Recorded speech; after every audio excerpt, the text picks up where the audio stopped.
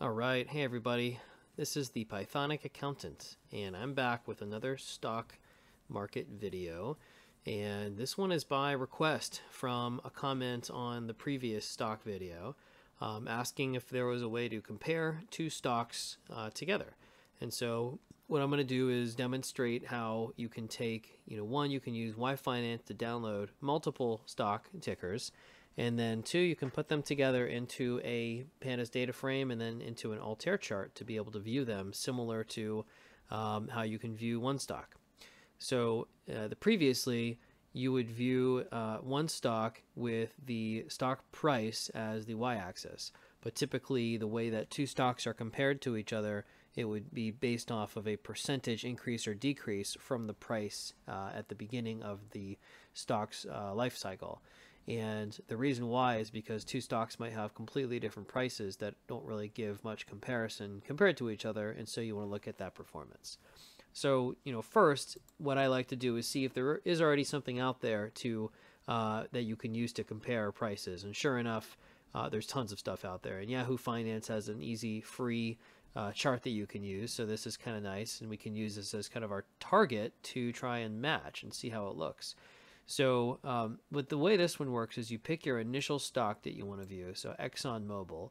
So let's actually go back and we'll remove uh, CVX. So Exxon Mobil. Now this is your standard, you know, uh, stock activity. So you've got the price as the y-axis and um, the uh, time as the x-axis, and we're looking at a five-year range. If you want to compare, you click comparison, and we did CVX Chevron Corp. And what that does is now it adds an extra line and it changes that y-axis from a dollar amount to this uh, percent. So pretty nice. So it's, you know, not really necessary to come up with our own visualization, but it's kind of fun to see what we can do in Python. So let's go ahead and walk you through what we've done. So we're using the YFinance, Altair, and Pandas libraries.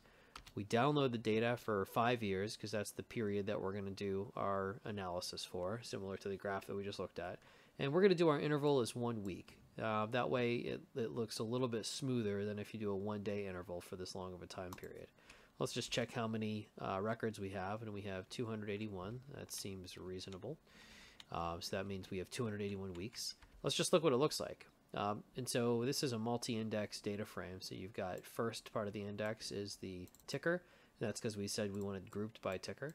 And what that that's nice is you can then create two separate data frames. So we're going to create the Exxon Mobil and the Chevron data frames. Now what we're doing is we're let's take a look at what it looks like at first. So now we've just got this piece of it. So we're going to add on a close variance column, which is going to basically just be the uh, close amount divided by the original starting close amount here. And then we're going to subtract 1. Um, so we're going to do that for both Exxon and Chevron, and then we're going to combine them together, and then we'll see what this looks like.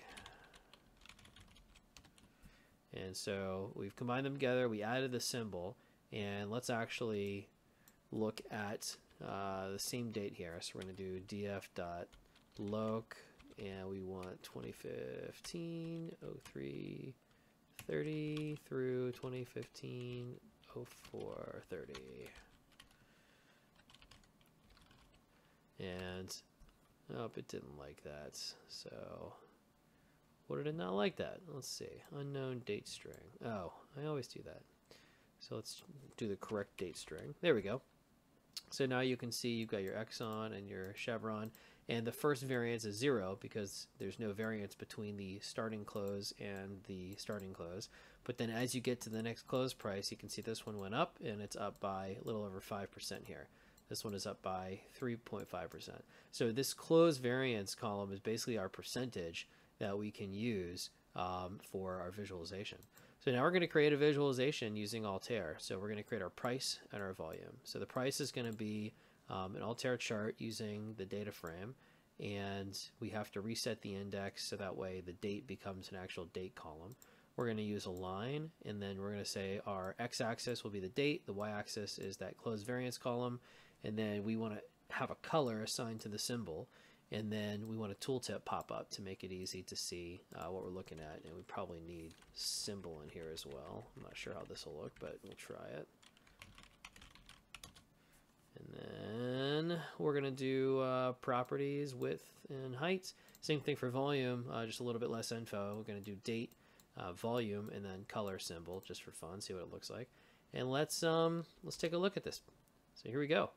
Cool. So we've got our two charts um, um, charted in one, and you've got your variance, which is starts at zero, and then it's going to go, you know, up a little, down a little, and you can hover your mouse over, and it gives you the symbol, the date, open, close, high, low, and volume, and again, symbol, date, XOM. And let's say we wanted to actually add that percentage change. That's easy enough. Close, close, var.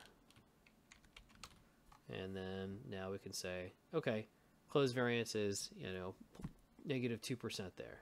All right, this one is uh, 26%. So cool. And um, if we take a look at the shape of these, it should look pretty familiar because uh, this is the target that we were looking at. And whoops, let's make that a little smaller so you can see them and make them so they're kind of the same width. And uh, oops, it's a little too much.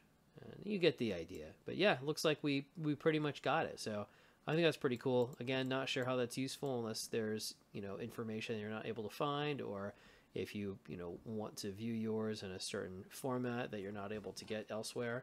Um, and so, you know, here's just another example of how you can use Python to uh, do some cool stuff with stocks. So I hope you enjoyed the video. Uh, if you liked it, please click like and uh, subscribe to the channel if you want to see more like it and um, you know recording this during the midst of the coronavirus craziness so if uh, hope you are hunkered down and doing well and have lots of toilet paper maybe i'll do a, a video next on some kind of relationship between accounting and toilet paper. That seems like a good idea.